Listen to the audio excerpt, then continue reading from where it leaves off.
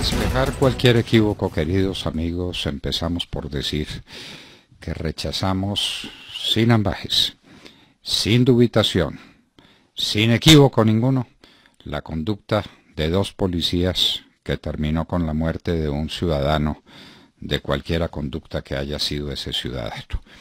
Esa no es la policía que conocemos, esos no son los policías de los que hemos estado tan cerca en tantos años y a los que respetamos, queremos, amamos, porque son excelentes seres humanos y grandes servidores de la causa nacional. De manera que empezamos por ahí. Esa conducta de esos dos policías tiene que ser eh, considerada por las autoridades y castigada sin ningún tipo de compasión ni de concesión. No quede duda sobre eso. Pero la respuesta que se ha dado a ese hecho dramático, el levantamiento popular, las quemas de buses, los ataques a los CAIs en toda la ciudad de Bogotá, las muertes de otros policías y de otros ciudadanos, las heridas que se han causado a muchas personas civiles y a muchos policías activos, ¿eso es proporcionado? No, eso es el resultado de un plan, de un plan bien concebido para desestabilizar la República. El gobierno no ha reaccionado porque no tiene capacidad de reacción. ¿Cuánta falta le haría ahora al presidente Duque tener el consejo de Álvaro Uribe Vélez? Pero Álvaro Uribe Vélez está preso. Es parte del plan, es parte del complot, del complot que se estaba adelantando allá en Cerro de los Alpes en su momento con Ernesto Samper representado por Juan Fernando Cristo, con toda la izquierda representada por Iván Cepeda y por el propio Juan Manuel Santos, que es el jefe de la cuadrilla. Jefe de la cuadrilla que estaba ahí nada menos que con Timochenko y con los otros que están ante la JEP negando, negando, negando, mintiendo, mintiendo, mintiendo, porque al país le han mentido en todo, en esto que ellos llaman el acuerdo de paz.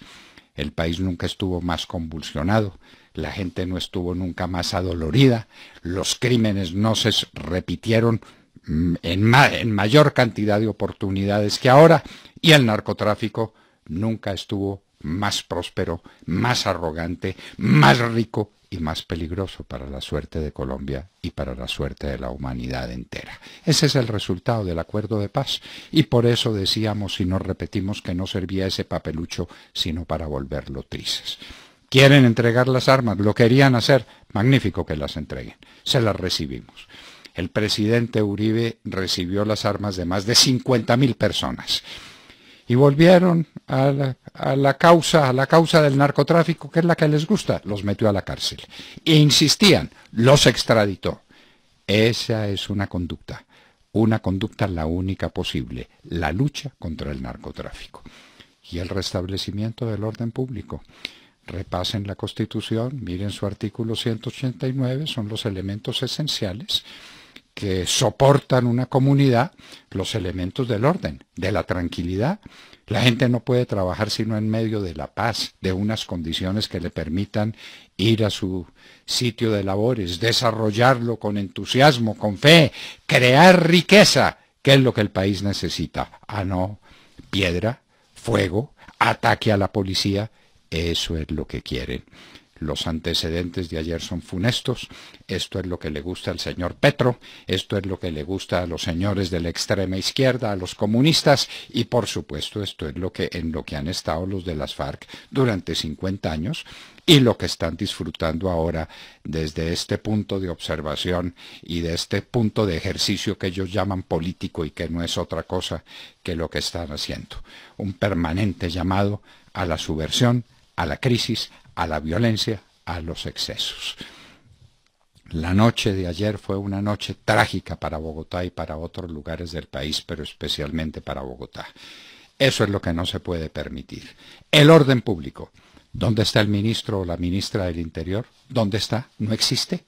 La alcaldesa la alcaldesa con unas declaraciones de esas ambivalentes, lo de la policía no puede decirse que sea un caso aislado porque hemos tenido no sé cuántos casos aislados de violencia policial, como poniendo la semilla justificativa de nuevos atropellos. Eso no puede ser. ¿Dónde está el Ministerio del Interior? ¿Y dónde el presidente de la República? Es hora, señor presidente, de dar por concluidos las presentaciones por televisión hablando del lavado de manos y del distanciamiento social. Tome las decisiones que tenga que tomar. Y cuidado, el orden público es el elemento esencial para el trabajo y la supervivencia del país. Y el orden público está en grave riesgo. Y estos promotores del desorden, promotores de la violencia, que viven de ella y que viven para ella, para alimentar su negocio del narcotráfico, que es lo que está en el fondo de toda esta tragedia, ellos son los que están conspirando, como conspiraban en Cerros de los Alpes, como siguen conspirando desde el Congreso de la República, como siguen conspirando ante la JEP. Es la hora de restablecer el orden público, es la hora de gobernar, gobernar y gobernar con el carácter que se necesita. Ahí estamos listos todos los colombianos a cerrar filas, porque a todos nos conviene la paz. Es así, la tranquilidad de todos los ciudadanos, derrotando todos los elementos configurativos del desorden que empiezan por el narcotráfico y que terminan en las pedreas a los CAES y los incendios en Transmilenio. Todo está fríamente calculado y todo, desgraciadamente, está conectado. La suerte de la República está en las manos de un gobierno que tiene que liderar, ahora sí, una gran campaña por lo esencial, por mantener el orden público.